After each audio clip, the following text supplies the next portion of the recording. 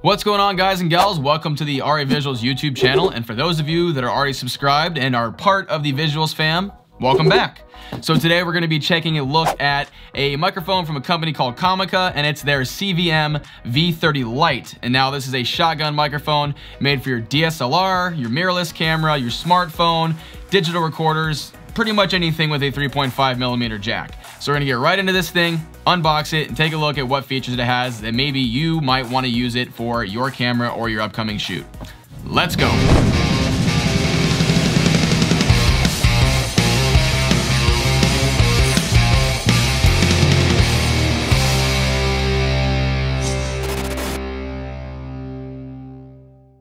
URCD Key has discounted codes for games and software that are a fraction of what you would pay if you purchased them from a retail store. More specifically, they have great prices on their Microsoft Office 2016 bundle that comes with a Windows 10 license as well. If that's not enough, you can also use my promo code RAV20 to receive 20% off the already discounted price.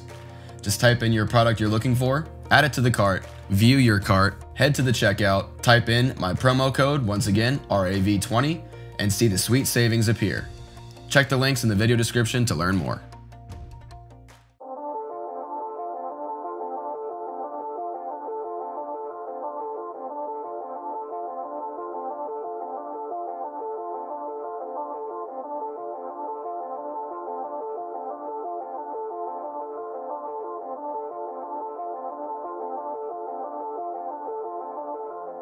So getting right into some features of this little shotgun mic we got right here. So this thing comes in both a red model, like we have right here that I just showed you, and it also comes in a black model if you prefer to keep everything, you know, nice and stealthy on your camera setup. And it has a little handy switch on the back of the mic to switch it from uh, camera mode to smartphone mode. And it does not require any batteries, which is kind of awesome, but it also is pretty much a double-edged sword because it runs off your camera's internal battery. So uh, make sure you bring plenty of extra batteries just in case, as this will be just another thing draining on your power. Now, to go along with that, I used it for quite a while on top of my a7 III, and I didn't really notice it draining my battery very fast, but if you own a Sony camera like the a6500 or something like that that has the smaller battery, you may want to look out for some more batteries because uh, those things do not last very long. So this thing does have a like little floating shock mount, so let's go ahead and talk about that real quick. It's uh, it's all made of plastic, but I think it does a good job of keeping the mic in that, you know, floating position on top of your camera, so it's not, you know, bumping around, you know, and causing a bunch of like weird noises while you're trying to film. And the shoe mount is basically the same way. It's uh, it's all plastic, so you have to be very careful with this.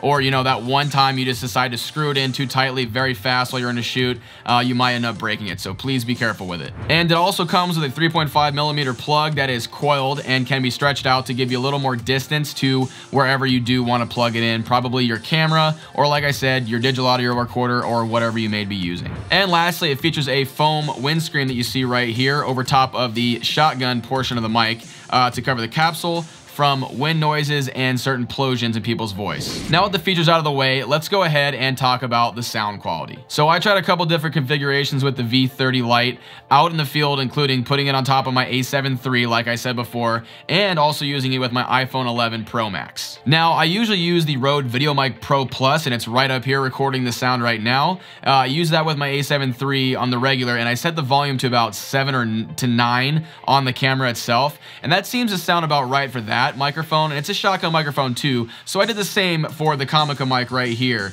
and uh, this is what it sounds like on top of my A7 III. When you finish really late at night. What's the uh, what's the plan today?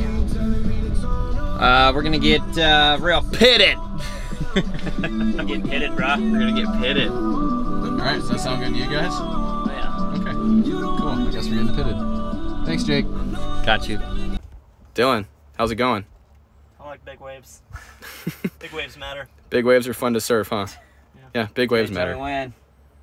Alright, probably good. It's nice and full. Makes those guys go go faster. And has it's more fun.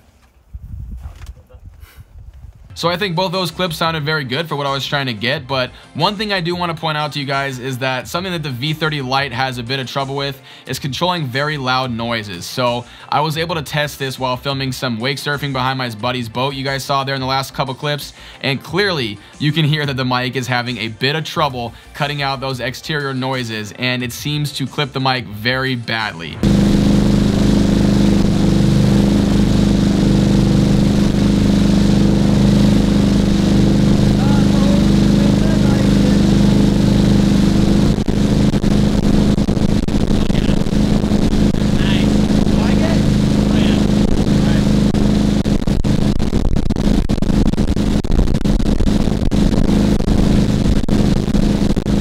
So they do make a big dead cat for this microphone right here that's super, super big. Uh, it kind of looks like this one right here, but a bit longer. And they do make that. Unfortunately, they did not send that to me, but I feel like that would be an accessory that you'd want to use to actually keep that wind noise down and maybe it would sound a little bit better. So moving on, there was something I really did want to try with this mic, and that is recording it uh, in the boom mic configuration, which I have my mic up here right now. Uh, so I have my Rode VideoMic Pro Plus on the boom stand right above me right there, and this is how I use to record my uh, talking head parts of my videos. So if we quickly switch it to the V30 Lite, here's what my talking head portion would sound like using this mic without any adjustments. It's right up here. But if I snap my fingers again, Here's what it sounds like with my usual EQs that I put on all of my talking portions in my videos normally. So uh, what do you guys think of uh, what the mic sounds like? Do you guys think it sounds all right or does it sound a lot worse? Uh, let me know in the comments below what you guys think right there. Oh, and just so you guys don't think there's any trickery going on right now and I'm just trying to fool you, the mic is right here, I promise. All right, now back to my normal audio. So I know what you guys are gonna say right now. You're gonna go, well, Ricky, you just basically put a $40 mic against almost a $300 mic that you always usually use. And I, you know, okay, fair enough, that's fine. But I also own a Rode Video Micro, which is a lot closer to the Comica mic that we're testing today in price.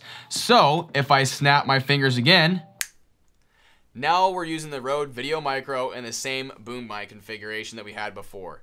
Testing, testing, one, two, three. Testing, testing, one, two, three. Blah, blah, blah. Hello, hello, hello. Sally sells seashells by the seashore. I don't know. I'm just making stuff up at this point. Here's what my talking head portion would sound like using this mic without any adjustments. It's right up here. But if I snap my fingers again, now we're using the Rode Video Micro in the same boom mic configuration that we had before. Testing, testing, one, two, three. Testing, testing, one, two, three. Blah, blah, blah. Hello, hello, hello. Sally sells seashells by the seashore. I don't know. I'm just making stuff up at this point. Here's what my talking head portion would sound like using this mic without any adjustments. It's right up here. But if I snap my fingers again, so what do you guys think? Can the uh, Comica V30 Lite keep up with the more popular microphones in the market? Uh, would any of you consider picking this guy up as a nice budget shotgun mic option? Let me know in the comments below or let me know what other things you guys would actually use instead of this mic or if you have any more ideas for your fellow members of the Visuals fam. But honestly, you guys, that's really to be it. Just wanted to bring this microphone to you guys and let you know that there's a really cool budget option out there for you if you guys are looking for a mic right now. And uh, you guys do not have to go with the, you know, very top tier freaking companies if you guys don't want to, because there's a lot more stuff out there. So if you guys enjoyed this video and you want to see more content like this, make sure you go ahead and give the video a like so I know you actually learned something and you want to see more of this content.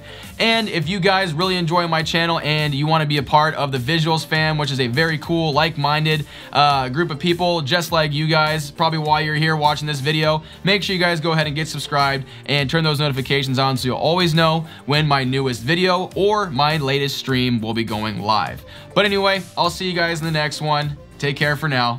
See ya.